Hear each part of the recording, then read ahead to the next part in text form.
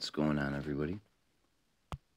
This is probably going to be one of the longer videos because we have four main lines to cover in this specific uh,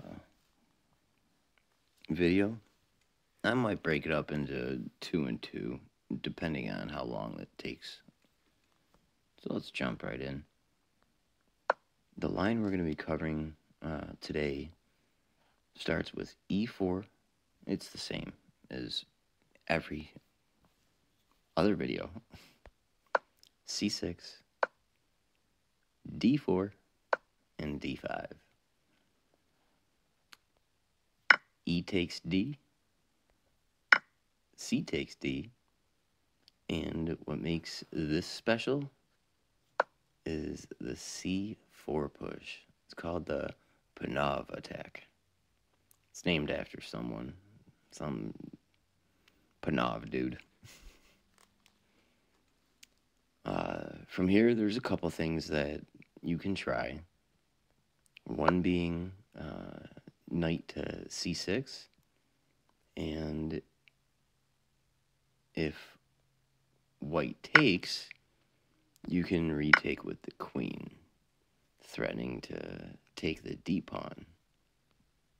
And white will develop a knight to defend it. And you got a couple different ways you can handle this. You can either march up the e pawn up one to e6. You can try pinning the knight to the queen by bishop g4.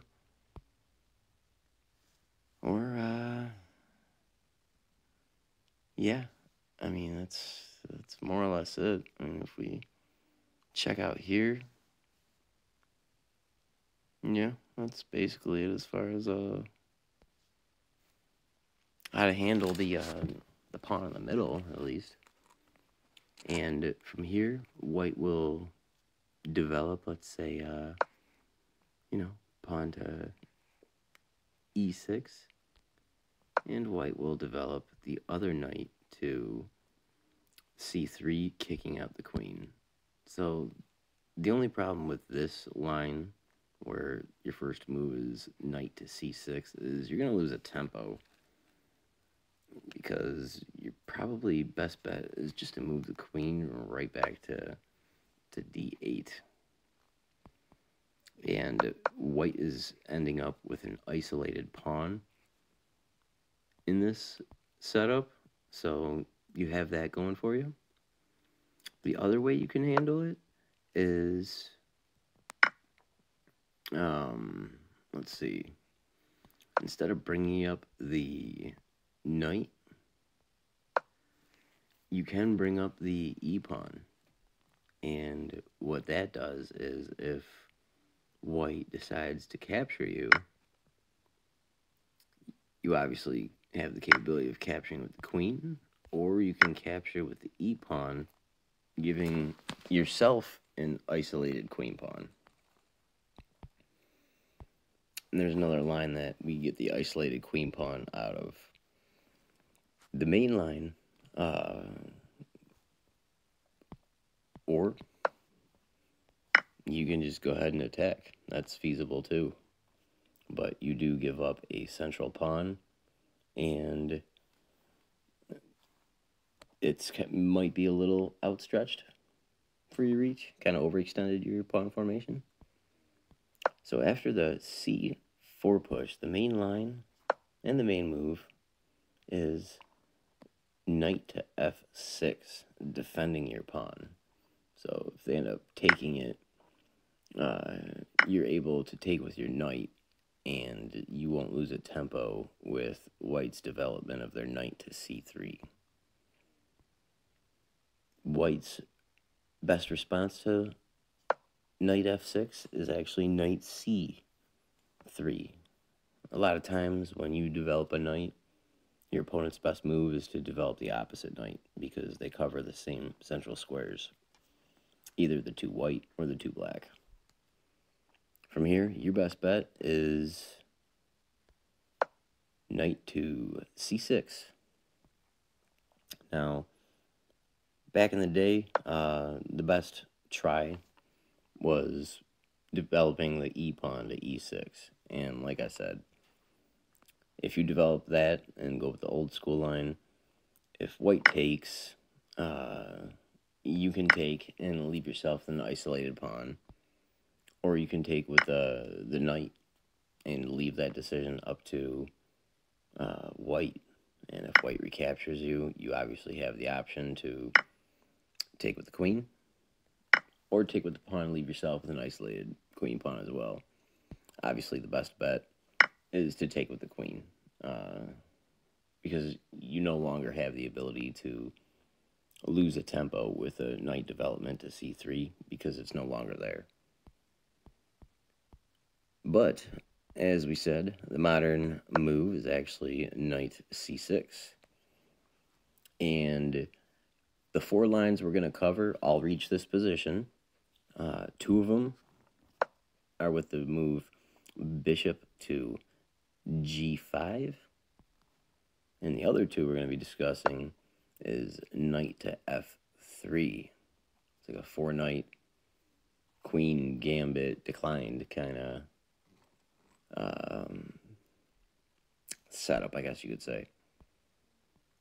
So, with that being said, the lines that we're going to be, uh, here we go, lines that we're going to be covering today, in this video at least, is the bishop to g5 variation. And white's best move from here is go ahead and capture the pawn uh, c4.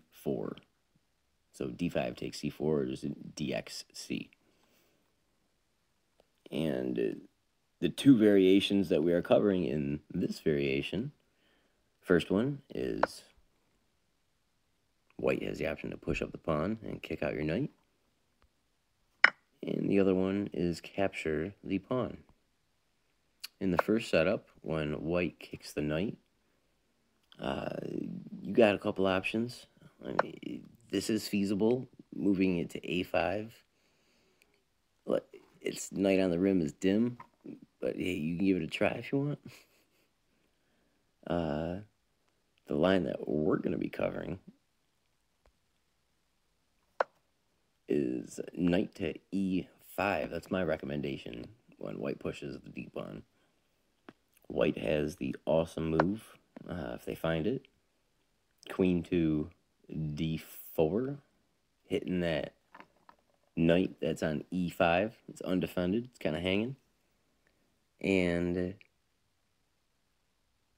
my recommendation here is actually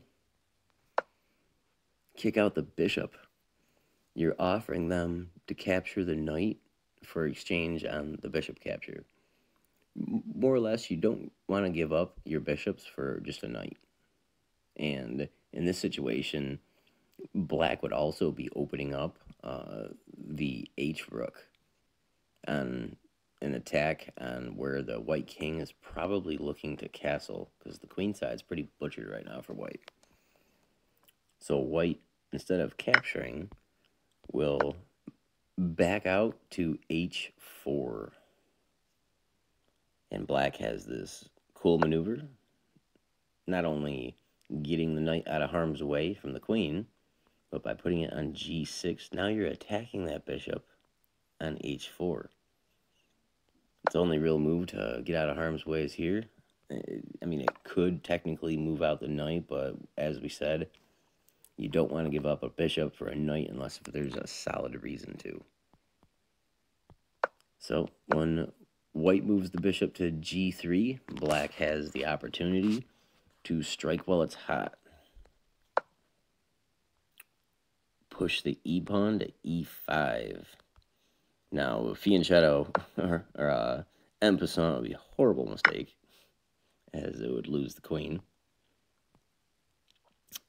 So the bishop will snake up that e5 pawn.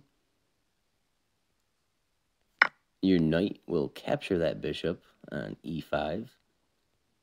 And then the queen will capture the knight on e5.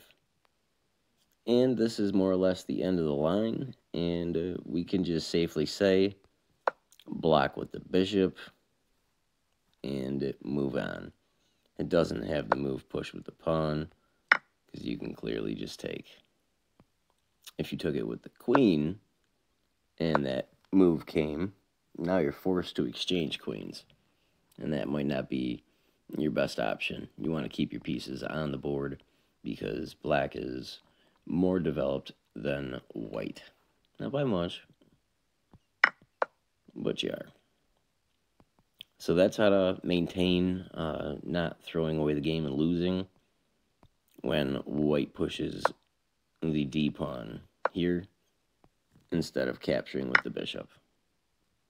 So if the bishop does capture your pawn, we have the exact same move. We're going to kick that other bishop on the g file by pushing h6. It's going to maintain and back to h4. And now we have this amazing move with our queen. Queen take d4. You are hitting both bishops. There's no way to uh, query that. If you were white, I guess you could go, you know, with this horrible attempt at a trick. Moving the queen to a4. You know, like, oh no, as Eric Rosen would say, oh no, my bishop. Because then white would sack the bishop with check, and now the queen hangs. So after black captures, whoop, free queen. Oh no, my bishop. He's the man. So uh, black or white's gonna capture the queen on d4, and from here uh, black obviously needs to keep the material even, so it will capture the queen back. White from here, uh, it's a pretty obvious move. Best move here. Castle queenside, long castle. Not only does the white king get in protection, it also is hitting that lovely placed knight on d4 with the rook on d1. You know how earlier we uh, kind of attacked the bishop and left our knight hanging? We're going to do the same thing with g5, hitting that bishop, offering up that knight. Now, white doesn't really have uh, a good move. I mean, that just looks ugly. That bishop is doing nothing.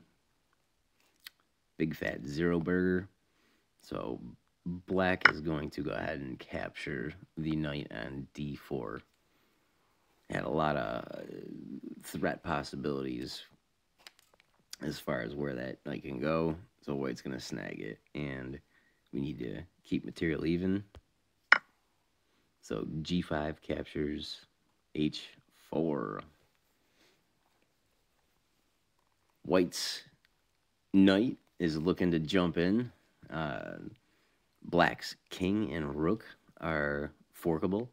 There's not really any pieces to jump in and defend. So knight to b5 is a hot move. You can end the line here and know that uh, you got away scot-free. But when the knight jumps here, you have the move threatening his rook. He's going to threaten to fork you, rook. You threaten his rook. Uh, the only real safe square uh, is moving back. Everything else forward's covered. So all the way back is the best way to go. If you look at uh, if you look at um, the line right here, it can get greedy and take the pawn, the doubled pawn, but then your rook is kind of out of place over there. So moving it straight back to the D rank is my move recommendation, which is actually the most commonly placed move. here. And uh, from here, black will bring its bishop to g4, hitting that rook again.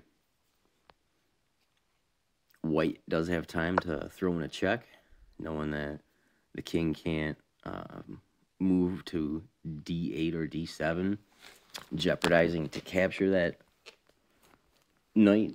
So white has all the time in the world. And it, that allows you to take the only square left. You got e7. It's your only option here. White'll snag your rook, and you snag his rook. Now, you might be thinking, wait, your bishop dies when you take their rook, but their knight doesn't die? On the contrary, that knight is 100% fucked. And if you look at the computer analysis, nuts. Dead even here. And the reason is, when white recaptures, black can simply move the bishop out of the way to g7, attacking that knight. Knight has two moves. That's obviously not happening. Do I need to even show? because the pawn captures. So this is the only move. And from here, black simply just moves over the rook c8, attacking it. It's not going to move here, right? Let's go over all the moves. Not going to go here.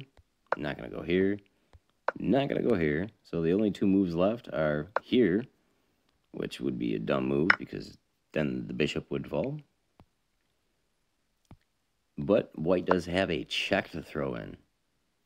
And if black captures the knight on d5 that just checked with the knight that was on f6, white can go ahead and capture with the bishop that's sitting on c4 and capture the knight on d5. And last move of the line, you guessed it, rook d8, pinning that bishop, and that bishop will fall. Nothing white can do. Next move, you are taking that bishop. Just theoretical. I'm just going to, you know, white wasted turn. You take it. Material. Well, let's do a logical move here. Knight here. You take it. Comes with check. White could either block or move. You don't want to pin yourself, so let's just move. If you count the material, white is up a pawn. Now, it does have the doubled pawns on the H file, but those are easily defendable with bishop f6. And you're sitting pretty. What's white going to do? That bishop is in the perfect spot to totally lock down the white knight. You have a 4 to 3 pawn majority on the king side. And you have the bishop versus the knight on an open board. So this should be an easy conversion for a win. And that is how you foil the attack when white captures your c4 pawn. Interesting line. So those are the two lines, as I said, where uh, white chooses to bring out that bishop to g5. And the next two lines we're going to cover are going to be the knight to f3. So I'm going to go ahead and uh, stop the video now. We're at 19 minutes. And I will determine if we're going to keep this rolling and go two more lines or slide this into two. Eh, fuck it. We'll we'll move it in two lines. That's that's too much for one video. So I do appreciate you guys, and I will catch you on the next version with the follow-up. See ya. What's going on, everybody? Now, this is either a psych, the video didn't end, we're going on. If I choose to put the videos together, or totally ignore what the fuck I just said, because knowing my audience, you probably did not watch the previous video in the series. Yeah, at least at this point in time, my audience. So, Uh, what we're going to be discussing now is the other two lines. And in the Panov attack, we just went over in volume 10.0 what to do in the bishop g5 version after you capture. We discussed how to survive the bishop takes c4 and uh, the advanced d5 pawn push. So, kind of reversing your time, and we're going with the knight to f3 versions here. Now, these are some of the coolest ones, I think. Uh, you don't see many things like this, I guess. And from here, we're going to say the best move is to pin that knight uh, right away. And when black pins that knight, white is going to go ahead and pin your knight. And if you look, I mean, the score is even according to the computer. It's very symmetrical. The only difference is white has that extra pawn on c4. So we're going to take that to our advantage. And we have the cool move. They're always cool moves, right?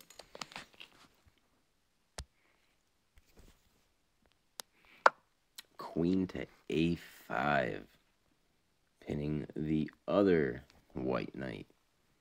Now, I'm also going to mention right now, both knights are pinned, but one is an absolute pin and one is a soft pin. The absolute pin is the knight and the queen on the right side of the board because it's absolute because you cannot move it under any circumstance. It is an illegal move can't happen. Can't put the white, uh, can't put your king in check voluntarily. And the reason why it's a soft pin on the other end is because technically white can move if it has a good enough reason to. It just will lose major material. With that being said, so we're going to pin, uh, absolute pin that white knight on c3. And White has the move. Gobble up that knight. The bishop on g5 captures f6. What do we do? We recapture. e7, take f5. And white's actually also going to come in and exchange the d pawn. e4 takes d5, or simply notation ex, I'm sorry, CXD. And by capturing that, that's also attacking your knight. I will mention that those two moves right there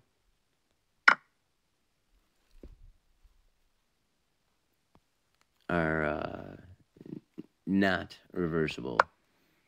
I'm sorry. If white came in and, you know, took out that pawn first, black can just go ahead and capture with the knight. And you're good to go, more or less. So after uh, white takes the knight, recapture, white takes the pawn, what do we do? If you want to pause the video now, I'm going to give you the opportunity to see if you can come up with a move, which we'll just call it, uh, We'll make you a scholar. That's a cool name for it. The modern defense miser. What's it called, miser? I can't click it.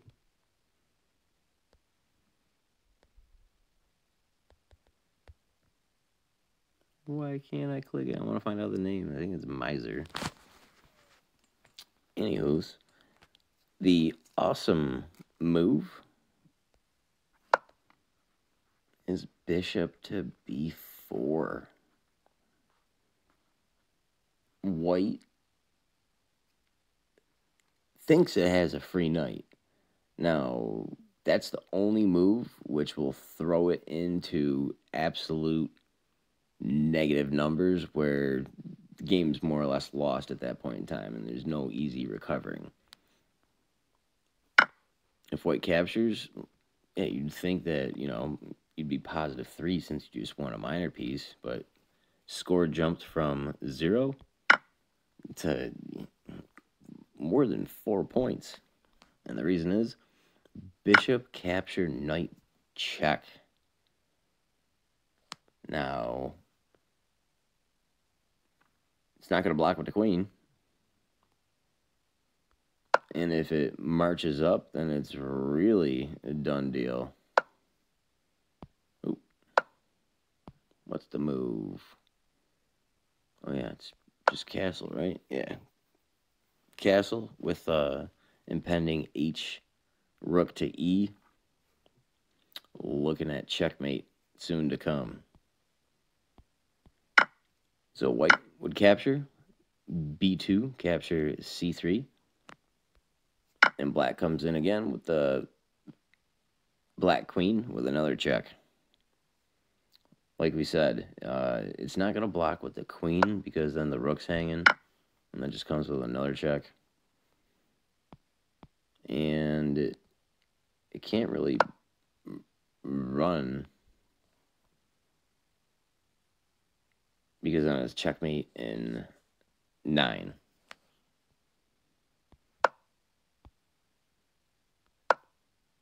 But the obvious move, if you're not trying to lose a knight, uh, you know, the human mind is going to run with the king.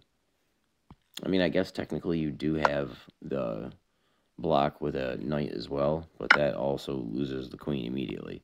So it's either lose queen, lose a rook, or test your chances on running.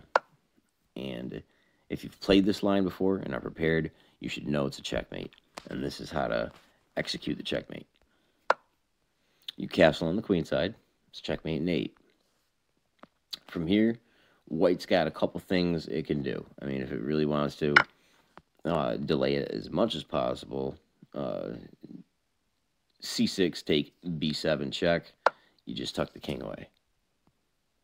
Checkmate in 7 then if you take it, you lost the checkmate possibility, and you actually are giving the game back to white, and white will win this game. So after you dip behind it, uh, white's best move to delay it is queen d2. But in this situation, we have rook e8 check, and they can't move the knight. They can't really block with the queen. Their rook is currently hanging, so their best move. I mean, it's, sad to say, it's uh, king to d1. And from here, rook on d8, take pawn on d4, checkmate in 5. If it wants to throw out everything, including the kitchen sink, it can throw in the bishop in between. So bishop f1 to bishop d3. You just go ahead and take the bishop with the rook. Rook d4. Capture rook d3. And at this point in time, um, white's king can't move. White's knight can't move. The rook on the A file is hanging, and the rook on the H file, if you tried bringing it into play, it would just choke off one more square of the king, and it wouldn't do anything. You even show you. That just makes it checkmate in one. checkmate. So, uh, White's best move is to capture. So queen d2 to queen d3. Your queen will recapture. Queen c3 to queen d3. Check. White's only got one move. Can't block with the knight. It's pinned. And from here, you bring in the rook to e2 from e8. And it does have the ability at this point in time to throw in the knight on d2 and stall it one more move. That's when the queen captures from d3 to d2. checking the king. It's got one move, king b1. And there's two ways to, uh, there's actually three ways to finish this checkmate. If you want to be cool, like the cool kids, bishop f5, checkmate. If you want to be uh, brute, queen b2, checkmate. Or if you want to be, I guess, semi-fancy, uh, you got the queen c2, checkmate. And that more or less delivers up the uh, the first line when white chooses to play the f3 line on move 6. I think it's move 6, right? Uh, where is it? I guess we're just going to have to go back the manual way.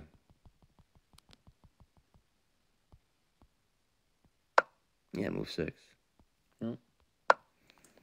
So that polishes up the third of fourth line. And here we go with the, I guess what, fifth? Or, I'm sorry, fourth. The last line is kind of similar to the third one we discussed. Bishop also comes out to g4, pinning, soft pinning the white knight on f3 and more or less, white tries throwing in some trickery with c4 takes d5. You are able to capture the pawn because it is defended twice or attacked twice.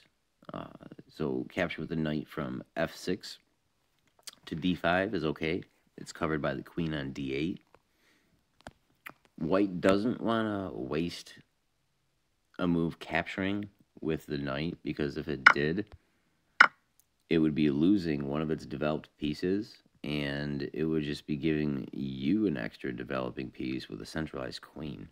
It doesn't want to do that. It wants to keep its uh, lock on those two vital light squares in the center of the board with its knight. It put it there for a reason and wants to keep it there. So white has a remarkable resource. Queen to b3. It not only is attacking your knight on d5 in the center, it's hitting that weak b7 pawn.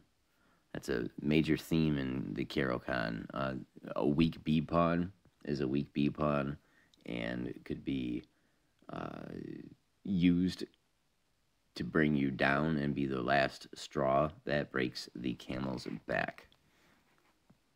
A good way for you to defend that horsey is not moving up the pawn. No, no, no. It's actually capturing the knight on f3. It is technically guarding that knight, isn't it? When white recaptures with the only piece it can, uh, g2 capture f 3, it gives you an extra move. And now we can go ahead and defend it with the pawn. And the computer evaluation uh, doesn't give us the horrible score it did before because that light knight on f3 uh, doesn't have jumping in capabilities. But because of that, that does allow the queen to come in and hit that uh, b7 pawn and take it. But it does leave that d pawn undefended since our knight on c6 is not covered by anything. We can take the d4 pawn and it's left covering that c6 square. So now the queen can't come to c6 with a check. From here, white does have a bishop check on b5. And if you recapture with the knight, then it can come in with the queen and check you, a more versatile piece. Because the queen also goes left and right, so it's going to be applying pressure more broadly in this sector of the board. So black is going to capture that. Uh, d4 captures b5. But white does not recapture that knight. It does not. what does it do? Queen to c6 check. Kind of an in-between move, as they call it, before that knight falls. Uh, black does not want to trade the queens. If it tried blocking it with the queen, which it can't, it, the rook's going to fall. So white's only logical move has to move up the king to e7. Do you think white's queen takes the knight now? Nope. Queen to c5 check, which allows you to save the knight with knight d6. But you notice the computer analysis doesn't miraculously bring you negative. It still says white's moving, even though you have three minor pieces compared to white's two minor pieces. Can you guys figure out why?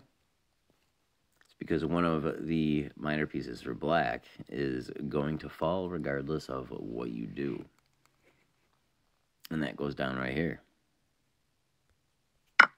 White takes the knight on d5 with the knight that was sitting on c3. Now, you do have to capture it. Uh, the e6 pawn captures on d5. And from here, things get interesting. White does not capture that pawn. It castles kingside. And while it castles kingside, that allows black to try to uh, resolve things. It's going to come and move its queen in to b6, looking to trade queens.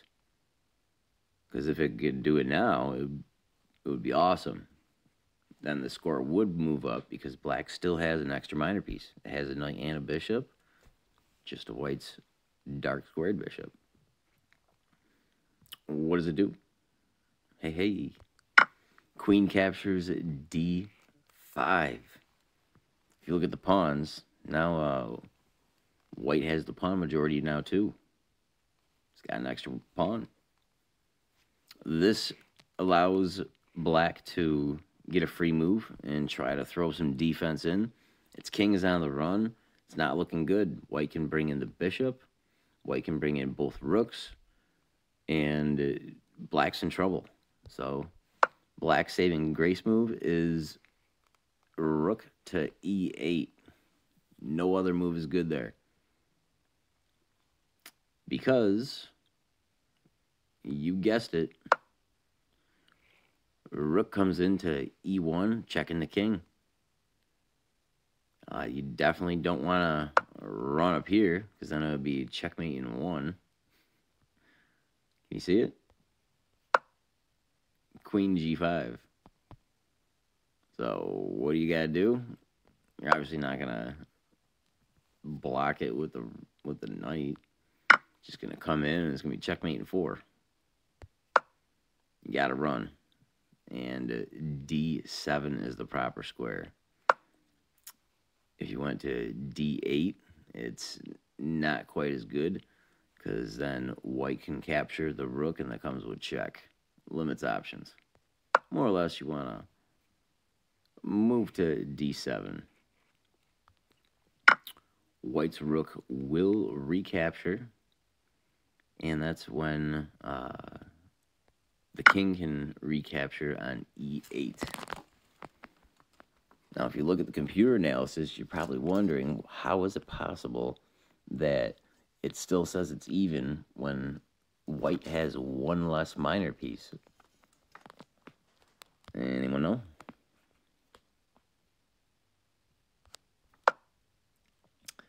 Bishop f4 coming in to attack that knight. Got to bring up the king to d7, double protecting it. Now white comes in with rook d1, tripling the attack on that knight. you do have three pieces guarding the knight, the queen, the king, and the bishop. And to be able to bring in a fourth piece, you got to move the bishop. So the proper move is actually bishop f8 to uh, bishop e7. And from here, white's got the move queen, check on f5. And this is where we're going to end this line. It's uh, it's going to be a, a feisty battle from here, and you're going to have to play perfectly. But it is possible. And it's amazing that, you know, the computer says it's even. Even though black has, you have an extra piece. It's because white has such a strong attack on you. And you got vulnerable, unprotected pawns. The G pawn's not protected. The F pawn's not protected. I mean, it is because of the knight, but it's pinned currently. And it, your king is out in the open. You don't really have a any kind of attack on the white king. He's safe.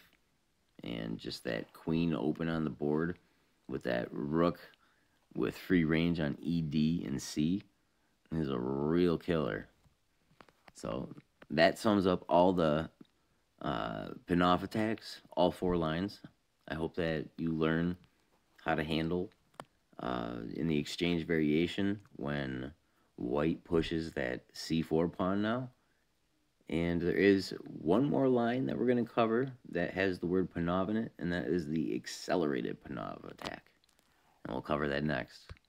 I do appreciate you guys. That was one hell of a long video, and I will catch you on the next. See ya.